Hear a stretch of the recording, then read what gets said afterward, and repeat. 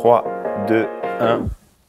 Bon, c'est Bamou Yassine, 11 09 91, 31 ans. Je suis attaquant et puis euh, je suis ajaxien.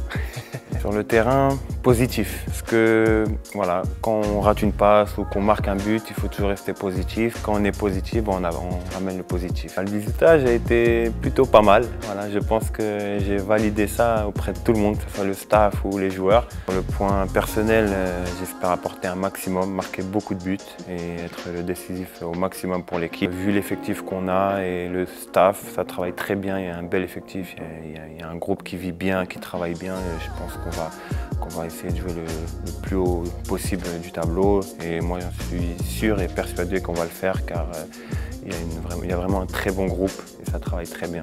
Wow, un mot, amazing.